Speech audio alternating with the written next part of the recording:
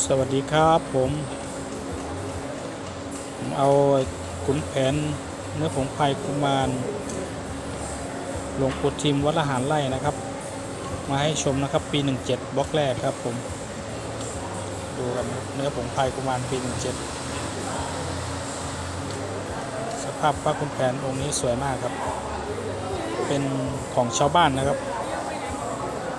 ดูข้างหลังครับอันนี้เป็นของชาวบ้าน ข้างหลังนี้จะเป็นปกติเดิมๆจะเป็นยันห้านะครับ ข้างหลัง original เลย แต่นี้ชาวบ้านเขาเอาตะกรุดสองดอกเขาเอามาติดใส่กับสมเด็จหลวงพ่อทาบ แล้วก็สีผึ้งหลวงพ่อทาบนะครับ เป็นสีเขียวๆนะครับ เดี๋ยวเรามาดูข้างในกรอบกันนะครับ ว่าจะสวยและ original เดิมๆขนาดไหนครับ ครับมาดูกันครับผมข้างในข้างนอกกรอบออกมาแล้วนะครับเดิมๆครับพระขุนแผนผงพรายกุมารบล็อกแรกปี 17นะครับหลวงปู่ทิมวัดละหารไร่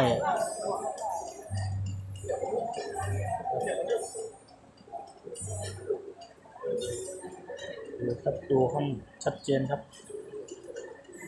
ครับขอบข้าง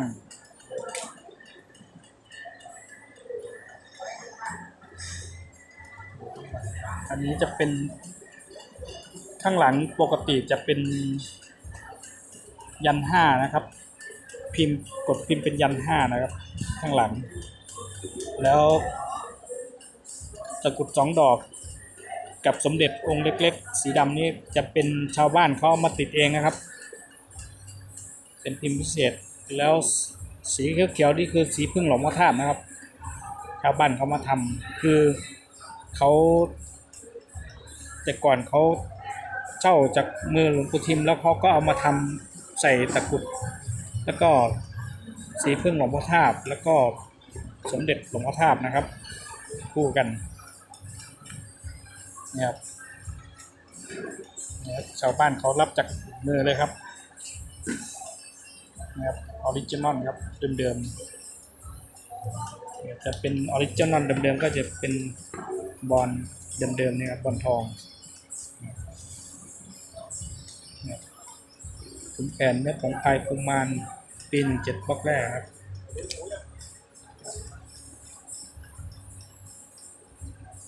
สภาพใช้ครับ จะไม่สมบูรณ์เท่าไหร่นัก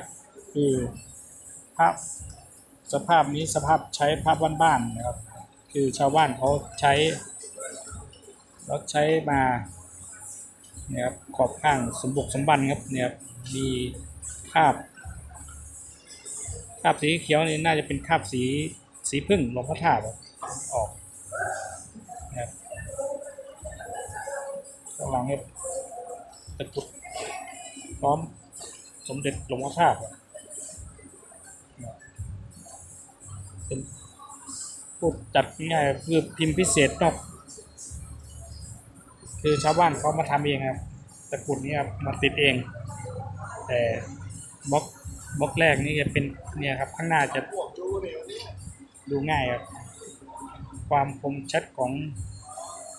กุมารเนี่ยกุมารและดอก เอเกตจะไม่ชนทุ้มเหมือนกันนะครับ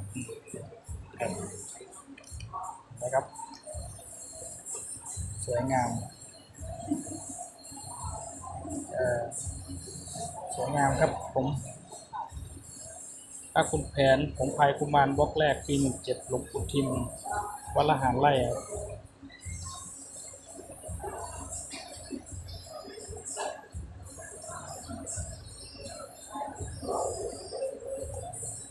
คลิปนี้ก็ขอจบไว้เพียงเท่านี้นะ